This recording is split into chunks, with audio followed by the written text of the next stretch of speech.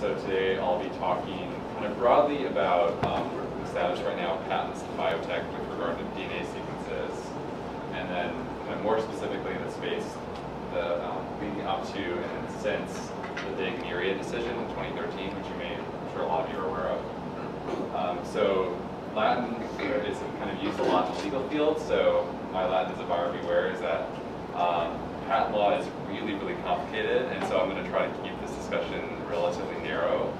Um, and in the same way that uh, scientists don't really appreciate the scope of patent law, um, there's a kind of a reverse problem that a lot of the judicial system, including the Supreme Court, uh, has a lack of knowledge about molecular biology. And this was kind of like in, in the, the abstract, basically, of the Supreme Court's uh, decision of Myriad, uh, the Myriad case. This is really clear when they had an error of complementary DNA composite DNA. Um, turns out when they submit stuff and you read it on SCOTUS blog, which I'd really recommend that site, it's, amazing. This is a draft, so they corrected it. So um, it was kind of fun. So first, I'd like to really briefly uh, talk about just like what a patent is, and uh, I think a lot of uh, that is actually really important for later points. And if anyone wants to jump in with questions or like uh, comments to add, um, please feel free. Uh, so first, like a patent fundamentally is a temporary monopoly, and uh, so patent is so the monopoly that you have for about 20 years from the date that you submit the patent in most countries and in most cases, although although there are exceptions in which you can extend patent life. Um, secondly, a patent is a mechanism for converting an invention or uh, something you make into a property right. So it doesn't really give you ownership over the thing itself. It just uh, gives you a temporary property right to it. And that right uh, specifically is the right to exclude others from using, selling, or importing your invention by means of lawsuits. Uh, so again, it, as a monopoly, it's not that you know the government will step in and say, you know, you can't use that invention. It's giving, if you're the patent holder, the right to sue someone if they use it and, and recoup costs and then kind of force them into a licensing agreement. so where does this uh, come from, this, this idea of a patent? And really fundamentally comes down to the, Constitution uh, and presumably British law before that. So there's a clause in the Constitution, which apparently was not discussed very much at the time. It was kind of just tacked on. Um, that the Congress has the right to um, promote science and useful arts uh, by giving people, in limited times, this limited monopoly uh, to inventors for their discoveries. And this writing that uh, corresponds to copyrights, which is the other side of property. So what is a patent not? Uh, I already said it's not ownership of an idea or even really permanent ownership of the invention. It's just this temporary right to sue people. Um, second, and an important distinction that I really didn't know until I took up a patent course, is that there are really fundamental differences from copyright.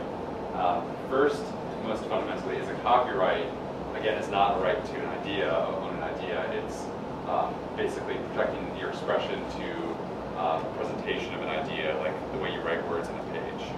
And the other kind of uh, other major difference, uh, which has a huge effect on, on patents versus copyrights, is the term length.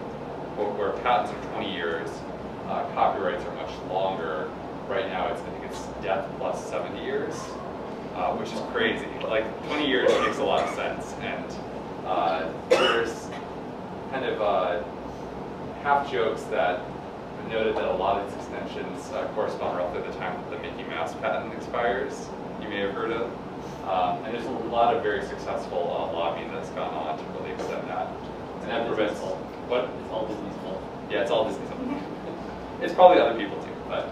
Um, so finally, another thing that a patent is kind of obviously not, but it's kind of something that exists in, in a balance with patents is trade secrets. Um, so a patent really, since you have to submit a patent application and it's published, kind of analogous to a research paper, or more analogous maybe to a supplement to a paper, um, it's a mechanism for inventions to enter the public sphere, and as the patent expires to be used by people. Um, so they're both to incentivize, on one hand, people to do stuff that's useful for society, and then for society to use it for after. Whereas if a trade secret is kind of the opposite.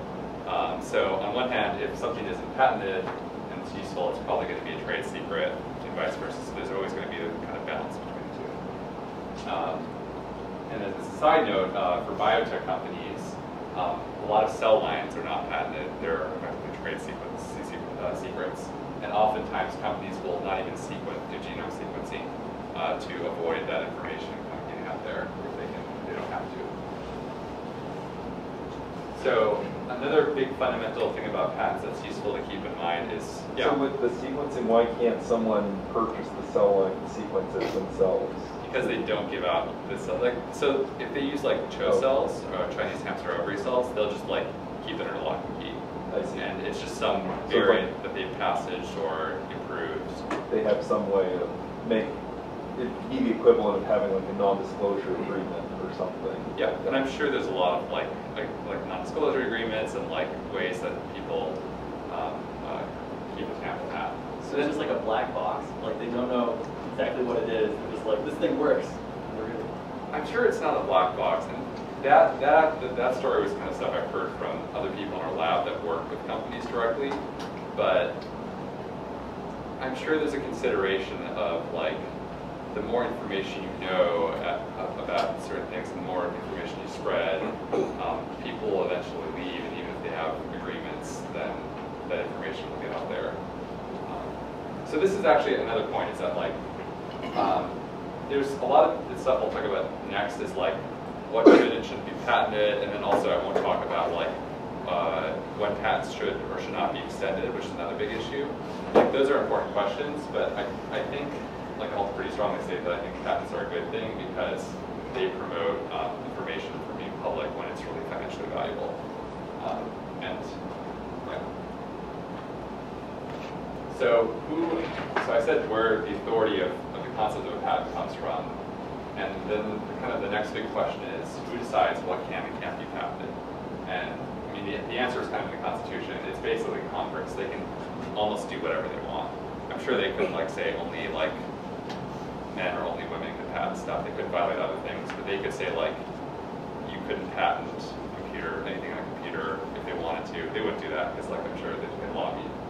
Uh, but they have pretty much exclusive authority. Um, so after that, the branch of the executive branch, which uh, deals with patents, is the U.S. Patent and Trademark Office, and they basically then uh, execute those laws, which some of which are vague, so there's a little bit of interpretation they provide as well. And the Patent Office also issues guidelines saying that, like, you know, we currently believe, based on this law, that you can't patent this. And then they'll, if you submit an application, they might say, well, like, look at this law, look at this guideline, you can't patent this. And then, of course, like, you know, if you don't like that, uh, you can go back to Congress and you call your congressperson and say, like, well, this isn't right. Um, can you please do something about this? Like, can you pass a law?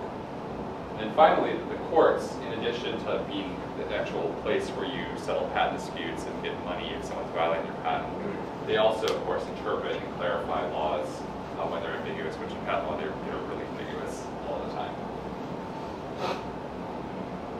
So um, since Congress writes laws about patents, um, there's uh, really three sections of the U.S. Code, which is a kind of a codified form of the, the a lot of U.S. laws, which focuses on patents. And this is really the focus of, of the, the, Supreme Court cases, which you may have heard about, and things that will go forward.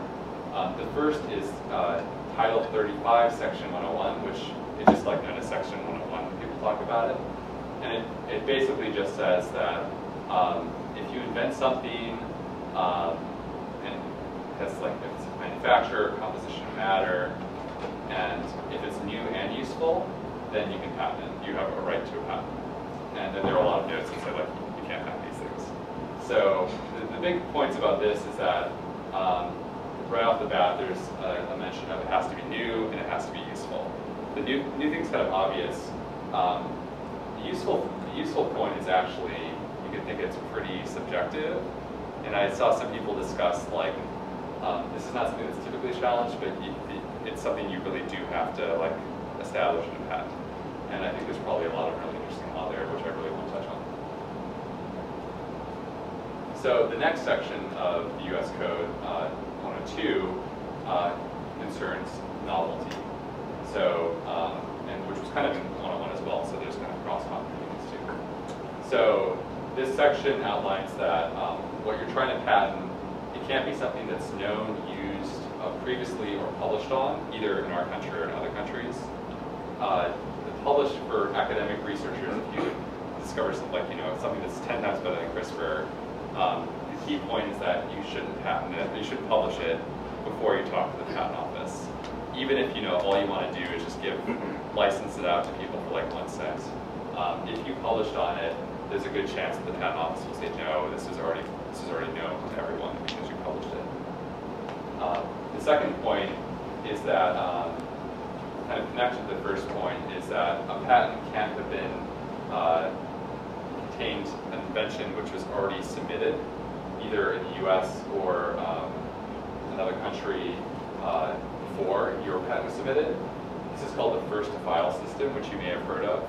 Uh, US until 2013 was a first to invent system, which means that if you had a lab notebook or something which said that like, well, I clearly discovered this and demonstrated like I have data on this um, before this other person, even if they submitted it first, um, you could argue that you should, the patent should go to you. And this is like exactly what's going on right now down at Feng Zhang or CRISPR. Um, those, uh, that IP was all um, submitted uh, before this first to file uh, system. You went from first to invent to first to file Two days before. two days before, which I'm sure was like completely intentional. Um, although was a, a bit fortuitous also the time. Um, you could maybe argue that the first to invent system um, fundamentally makes more sense, but realistically the first to file system is just like a lot easier for countries to deal with, especially now that we're in a global economy. Um, there's also something, I don't know if you know, there was something that, that um, Feng Zhang and the Broad did where they leapfrogged um, Doudna by paying more money. Fast tracked it. I have, I have no idea how that uh, ties into this first to file submission date stuff. So, uh, as I understand it, uh, Doudna and Berkeley submitted their patent two days before the first file law went into effect. Um, Feng Zhang and Broad submitted theirs some weeks or months later, but they like fast tracked it so that it would get reviewed more quickly. And so theirs got issued first, and because Doudna and Berkeley submitted before the first file, everything to Yeah, so maybe, and don't quote me, but maybe if, if it was first to file system, it wouldn't have mattered who, if they did the expedited review. Yeah, it shouldn't, it shouldn't have. Yeah. Yeah. You, you can kind of see that why this system, like, that battle would have been basically um, moot. I mean, there would have been a lot of other discussions over overlapping patents, I'm sure, but anyway. So the last point is kind of obvious. You have to be the inventor. You can't patent something someone else invented. So novelty, that all kind of makes sense, and you can kind of imagine how a judge would de- kind of decide, even if there's ambiguity at times, uh, what if something's novel or not. The really tricky one is non-obviousness, and uh, so it basically just states that um, the invention, difference between the invention and prior art, what has been previously used in society, um, can't have been like an obvious next step. And this is just like, it's kind of necessary for the patent system, but it's also a mess legally to deal with. Um, and another uh, phrase people often use is that you need an inventive step or like a flash of insight, like kind of like Archimedes, Eureka or something like that. Um, so examples of obvious inventions, Thomas Jefferson wrote a letter, which is like, well, everyone uses round buckets. If you just file a patent for square buckets, like that's obvious, like that shouldn't be patented. And then something which I think is a little more ambiguous is that there's a Supreme Court case back in the 1870s over um, the invention of the eraser-tipped pencil. Is that obvious or not? And they decided that it was obvious because people were using erasers and pencils, and just like people knew that you could like tie them together, basically. um, yeah. It's an interesting one for BioBricks. Yeah, there. You, I mean, so non-obviousness is, I think, a huge problem for biotech, and it's really not been litigated for a lot of the, the, the patents. Is this like a reasonable person standard? Like obvious to the reasonable person or to an expert in the field, right? It's Yeah, It's to one skilled in the art, I believe. is the One skilled in the art? yeah, I think that's right. Okay. Because the fact that two people discovered CRISPR at the same time, and George Church was like a month later, and there were like 40 other research groups in the country all doing the exact same thing. Yeah. Don't you think the obvious next step was that we would use CRISPR to edit things, right? Like I always thought that's an example of like completely cutting obvious, but like, Yeah. But no one has an incentive there to say that that was obvious because everyone wants the patent. yeah. Uh, so what are other things that DeMarc what you can and can't patent? So this is kind of all in the, the footnotes of these things, which uh, are pulling in various laws and like decisions. It's really confusing. Um, so historically, in Supreme Court cases, there's kind of four classes of things you can patent. The first is the composition of matter. If you like put together parts, like say you took apart a car, car and put them together in a way that like is completely non-obvious and creates something amazing, and useful. Um, I mean, that that also kind of a machine. That's something else you can patent. Um, a manufacturer, like you could think of this as like a method to patent, like a method to do Gibson assembly. Like I'm, I'm sure there's a patent for that. Um, and a process, which the distinction between those two for me, uh, I'm not sure. I'm sure one exists. Um, things you can't patent. Uh, so again, a patent is not ownership of an abstract idea. That's pretty explicitly stated. stated. Um, also, and this really ties in the myriad case, laws of nature. So things in, in nature you can't, can't patent. There's some really weird historical back and forth. Like I think aspirin was patented. Um, the question of like if you extract things, is that patentable? Um, and then also like laws of nature and the more like the way that I would read this, like you can't patent like an equation or something like that. And then finally, there's a really big exception, just to show you that Congress can, just like say you can't patent this. Um, anything related to nuclear weapons, you can't patent. Anything classified. What? Anything classified, Yeah. because it's full Oh yeah, exactly. Yes. So I mean, that's kind of obvious why. So the big question, um, which came about uh, really in the 1970s, 1980s, is what about if you modify organisms? So there was some precedent for that, in that the Congress passed an act, I think in the mid 20th century, that said that you can patent certain types of modified plants, um, and Congress can do that. And so then uh, there was a, a Supreme Court case, uh, Diamond versus Chakrabarty, which is often just known as Chakrabarty, and this is like one of the two patent cases you should you should know. Um, the question of that case, which is again statutory, involves congressional laws, not a constitutional issue. And the, that question is: Are genetically engineered organisms patentable under the U.S. Code? Um, this was, even though this is a really famous case and it's pretty solid law now, this was a 5-4 decision at the time. So the justices were very split on this question. And the holding was yes, um, genetically modified organisms are patentable um, uh, as a composition of matter. So the facts of this case is uh, a researcher at GE, um, Ananda Chakrabarty, who's now actually a professor at USC, turns out, um, was working on bioremediation, and it was known that you could combine different types of bacteria to, uh, to digest crude oil, and he uh, created an organism that could just do it all in one. And so how he did that is he isolated plasmids, which, which express the genes that do that, and then, this is really not clear from his paper, but he either found ways to trans co-transform them and maintain them stably, or like shear and fuse them. This, this is before sequencing, and even I think at the beginning of like gel electrophoresis. So it's, it's kind of being just raw genetics. His patent request was, um, uh, they applied for a patent, probably knowing that it was going to get denied guidelines. Um, got denied. They appealed it. They won in a patent court, which is kind of like an appeals court for patents, which is mainly scientists. No longer exists, exists anymore. There's uh, no longer that system. And they ruled with GE and Chakrabarty, and then went to the Supreme Court. Uh, so the kind of the decision broadly is that well, there's really nothing special about um, life. So if you can uh, aspects of life in non-obvious and novel ways, that should be patentable. And uh, they, they drew a lot of the precedents from like the Congressional Action on Plants. Who was Diamond? Is that just like the Attorney General or something? Or like, what is the? He's the head of the patent office. Of. So he's like the, I can't remember if he's a respondent or, he, he's the one who's appealing to the Supreme Court because he lost at the lower level. So in the, the, you know, two, three decades since then, a, a lot changed obviously with biotech. Um, so gene patents became a really big thing when sequencing picked up.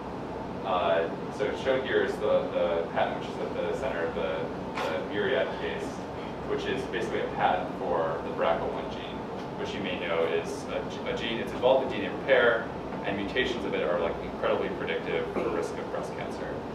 And so if you just read the claims of this patent, it's very striking. Like, um, patent isolated DNA containing at least 50 nucleotides in the DNA of this gene. Um, so you can already maybe think that there's issues with that. Um, at about the point when the Myriad decision was decided, there were gene patents covering 40% of known human genes. I think a lot of them were owned by Craig Venter and his various Uh. people. Big surprise. Uh, so problem number one, uh, first of all, a 15 mer is a really short sequence. I'm sure you're kind of all familiar with. If you just assume um, like the human genome is completely random, you need at least 16 base pairs to identify your position in the human genome, and then you probably will need quite a bit more if there's any degeneracy or bias in the sequence, which there has to be because it's sequence coding. And there are actually some some regions where you need like over several kb uh, because it will match in multiple places. Uh, so BRCA1, for example, has 15 mers that match uh, like almost 700 other genes. Uh, so what does a patent for that mean? And this was actually brought up in uh, the Myriad case. Uh, secondly, patents are almost always uh, made in the form of like just a letter, like the DNA sequence letters. But those letters aren't actually what DNA are. And this is maybe a small point, but like uh, epigenetic marks really matter sometimes in certain contexts. Like if you're, you know, DpnI digest in your plasmid, that matters. And then also just more fundamentally, DNA is not letters. It's, a, it's a chemical. And the other problem is that a lot of these patents are based on the fact uh, by saying like, well, you're not patenting the thing in nature, you're patenting the isolated DNA. And so there actually was discussion that really, the important distinction is the fact that you don't have these bonds here, so these functional groups are different.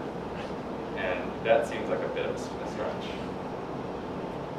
So this all kind of a lot of um, uh, gnashing of teeth over this system led up to a really good test case uh, for people that didn't want genes to be patentable, um, which started uh, with this company, Myriad Genetics, which is a startup spun out of the University of Utah.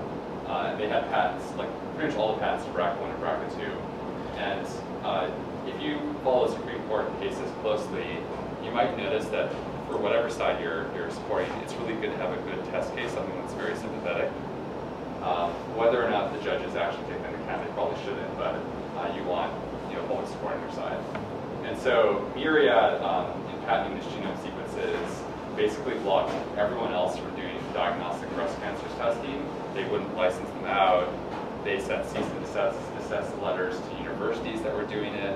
Um, granted, it was like wasn't covered under the research exemption because they were charging for diagnostic tests at you know, hospitals. But even still, it's not great PR. Um, so then this moved up. Uh, originally, uh, a judge named Sweet ruled in favor of the challengers, this pathology society, and then uh, University of Pennsylvania, which was blocked from doing diagnostic testing. It went up to the Court of Appeals, uh, where they were actually scientists on that panel, and they were people that were trained in science. And they reversed the decision, ruling in favor of Myriad, and then that's what led up to uh, the Supreme Court case.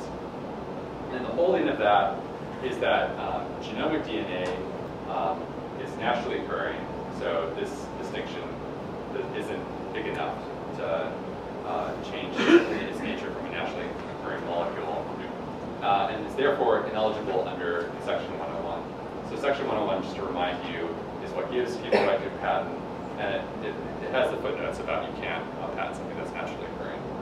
Um, they did decide there's another uh, question of whether cDNA, uh, this, you know, not, not um, whatever they said their complementary DNA is eligible. Uh, and the court said, we basically will say that cDNA is eligible under 101 because cDNA doesn't exist um, natively in, in nature. Um, but we're going to make no decision uh, regarding the other sections, like uh, novelty 102 or non-obviousness 103. And I think right away you can see that if someone was going to challenge on non-obviousness, that might not have a, a good, good standing. Because once someone makes cDNA, you can make anything with cDNA. Um, Some other just very small interesting points of this, uh, this whole case. Um, a really clever uh, brief in support of AMP by Eric Lander. And it basically said that if you look at the human genome or in the human bloodstream, there's fragments of DNA floating around. Like you might have heard that these recent um, fetal screening tests will actually um, isolate fetal DNA from the mother's uh, bloodstream, and you can actually reconstitute the entire genome. And there's also a lot of human, uh, or you know, the mother's DNA will also be there as well. So he said, well, you know, these are not the full genome; these are fragments. Therefore, it exists in nature. and it's very rare for like such a nuanced uh, uh, amicus brief or friend of the court brief uh, to get discussed. Front of the court briefs almost don't get discussed that very often. That's kind of interesting. And then in this, this kind of mini course I went to in patent law, uh, George Church was one of the speakers, and he said he was approached by the ACLU, which joined on this case, and they decided that he was too much of a loose cannon. So they, they, they, they stuck, I think, with Lander and other people. So the aftermath of Myriad, um, if you just look on, on different IP blogs, it ranges from like, this is awful. One person said like, biotech's been taken behind a shed and shot, which is a little dramatic, uh, to basically people saying like, we basically moved on already. Um, several reasons why this, for Myriad, this is actually not that big of a deal, is that their patents were all expiring pretty much in 2014, and this was decided in 2013. Um, also with the cDNA issue, even though you could challenge it on 103 for non-obviousness, uh, cDNA is not as useful anymore. If you're doing a diagnostic test, you probably a lot of people are using Illumina now, which is moving into that space. And so that effectively is using isolated genomic DNA. And then finally, uh, Myriad, uh, going back to trade secrets, their trade secrets are they have massive databases from 20 years of genetic testing. And so they have like a twofold higher predictive ability than any other company. Um, so their, I think their stock stocks went down and back up when people like freaked out and realized, oh, okay, the company still is of, of value. So consequences of this case, I think, are still not that clear.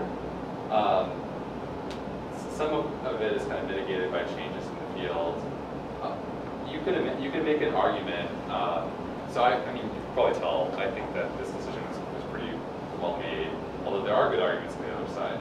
Um, one, uh, ignoring the law, one issue is that the less stuff you can patent, the more people want to make sure to uh, have trade secrets. Like this, so before Myriad would um, work with academia more often and publish uh, data on like um, on how certain mutations correspond with risk, and they're not doing that anymore um, to maintain their competitive advantage.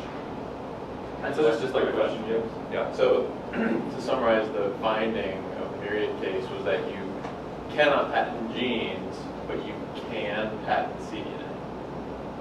Uh, yes. So they so Patent CDA under like that one, one session. So a good Supreme Court ca- uh, decision or any is, is, only, is as narrow as it needs to be.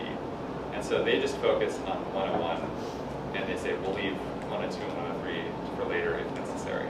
So, in practice, can you still patent sequences of DNA? It depends on what the patent office says. I think yes. So um, it's actually here. Where are we now? Okay. yeah, So- Yeah, I'll, I'll just go back and finish this part. Um, the other issue, this might be a wash for startups, but you could argue that this makes things better for startups because you don't have to worry about all these nonsense, uh, nonsense human gene patents.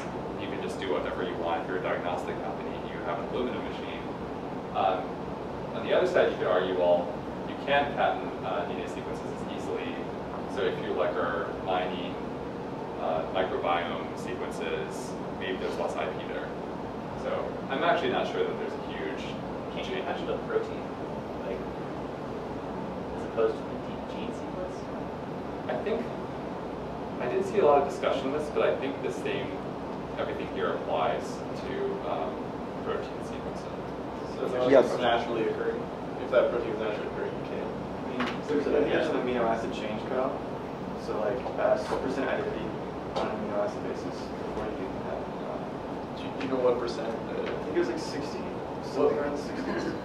Uh, because I know that like some companies will then do circular permutations. So your start codon is radically different, and then your amino acid IDs collision. And that way you can have something that's new, even though it's the same fold function. the same. You can also probably codon optimize to change the DNA. Well, but it's it's on the amino acid level. Uh, Oh, but if you need to get away from the DNA level.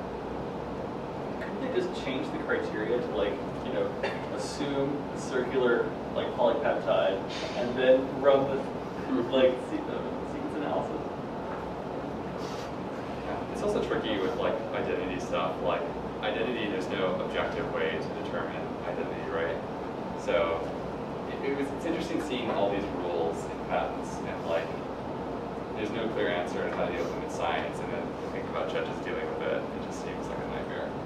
But I can't think of anything better to do. So, um, so to Quentin's question, where are we now? Um, so the first point is that it seems that if you isolate a wild type or naturally occurring variant sequence, um, even though this case focused on humans, presumably from all organisms are patent ineligible. And I, I think, actually I don't know about proteins, so I'll just, I'll that. Um, I was trying to find if there were challenges specifically on 102 and 103, and I really couldn't find a lot of discussion about it, which was kind of interesting. But I think that you could see in the future more challenges on those sections, because the 101 is pretty much decided for now, or something would have to change for there to be another decision on 101. So 101, 102, 103, you need one of those in order to make You need all three. You need all three? Yeah. Okay, well, You, you need to not violate any of the things you can't patent, and then it has to be um, novel and non-obvious. And each oh, right. each section has its own corpus of court decisions and you know, guidelines. Uh, so this is why patent lawyers make a lot of money. So James, correct me if I'm wrong, but in the original Chakrabarty case, was it argued that it's non-obvious to take a plasmid from one bacteria and put it into another bacteria? So the argument, I think, was that it's not obvious to.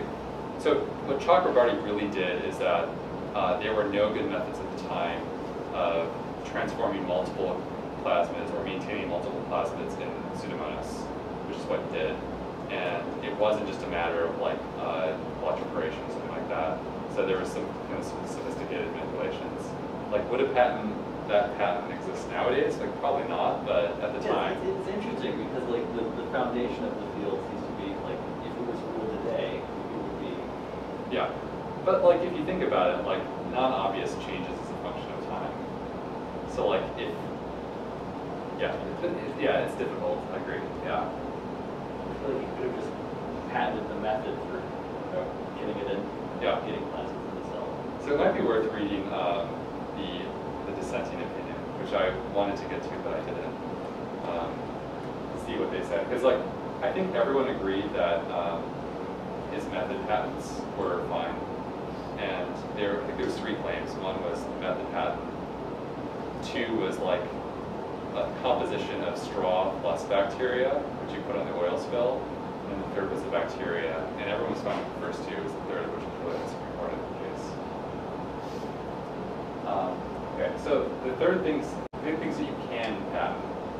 So first of all, uh, if you evolved the sequence uh, or found like a non naturally occurring variants, or or made a new sequence which is novel, non-obvious, and useful, then you can patent that. You mean like if you made a synthetic genome? Yes, if you Oddly enough. Yeah, I mean, it still it still gets tricky because like you know, um, there has to be a non-obvious step, and then also it can't be the same as the human genome. But yeah, I, I'm not sure with the George Church stuff if they're talking mainly about methods about patents, which is of course uh, you you could patent methods. And then obviously based on Chakrabarty, as we discussed, you could like um, patent an organism which combined, uh, like if you if you made very novel plasmids and put them together in an organism, you could patent that strain. Like shuffle or something. Yeah, you could patent shuffle, I think. Oh, so yeah, huge footnote is that this is not a constitutional issue. This is a statutory issue. It's based on laws. So um, if you convince enough uh, senators and congresspeople, they could just change this completely. And the Supreme Court case would be invalid. And there's like famous cases like, I don't know if you've heard stories about the RFRA case. That involves a Supreme Court decision in which Congress in the 90s said like, we don't like the decision, is statutory, we're going to rewrite the law. And Congress is allowed to do that. So then the final thing I'd like to, to kind of question is that, um, do we need more scientist judges? So I think we have enough scientist patent lawyers, um, and there'd probably be motivation for that, but there's probably less people that go the route to be a public servant. And um, there's a really famous uh, judge named Learned Hand, which is kind of a ridiculous name. but he was uh, known for being an excellent writer and uh, jurist, and then also uh, someone who was really fascinated by patent law, which I think was rare for judges. And uh, he, he basically said like it's hilarious that um, someone who knows like nothing about chemistry can like decide these decisions. It was a, a, chemi- a chemical patent case, I think. And he apparently worked very hard to like research this and get people to work him to research it, and, and still thought it was weird that he was doing this. And also in the Myriad case, um, Scalia wrote this really interesting uh, concurrence, which concurrence is basically when you say like, yeah, I agree with this decision, but I want to like say something else. And he basically said that like, yeah, this decision decision's correct, but like I really don't understand this molecular biology. And like credit to him for saying this, I think. Like this kind of ties into the Learned Hand stuff. And um, in some ways you can't escape the fact that the Supreme Court has to be the final arbiter in this, these cases, but you could imagine that maybe we need to restore, uh, there's an argument that we need to restore like a certain track of appeals courts that are staffed with scientists and that the Supreme Court can really like lean on them for their expertise. Um, although that being said, like you can make an argument that well, if they come from certain industries, like maybe they'll be biased, but regardless, like it would be helpful, I think, to have more expertise in this field. That's it.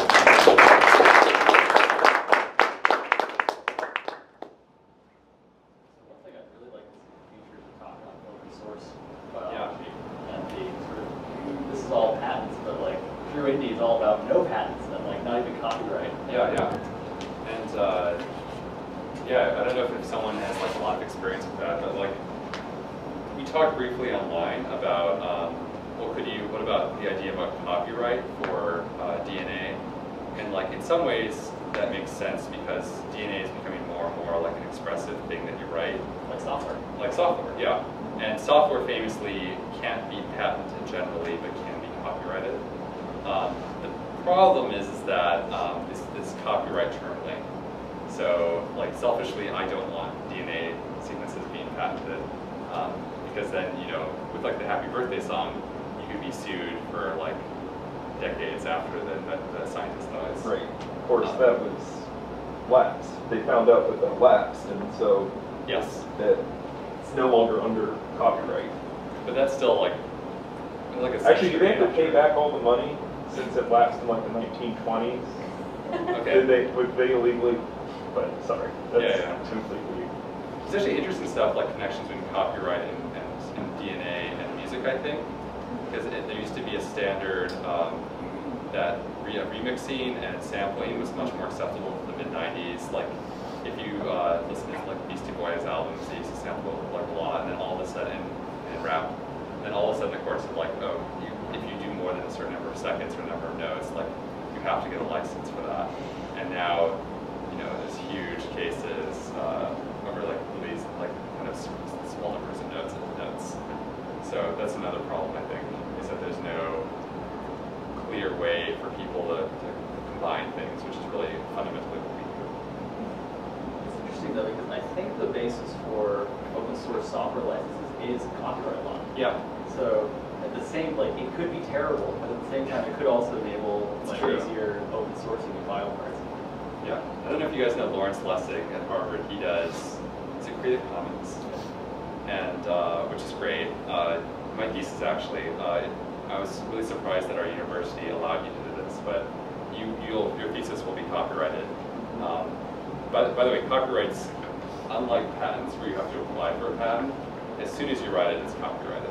Uh, so if there's ever an issue later, if you can just show that you write, uh, you wrote it, it'll be copyrighted.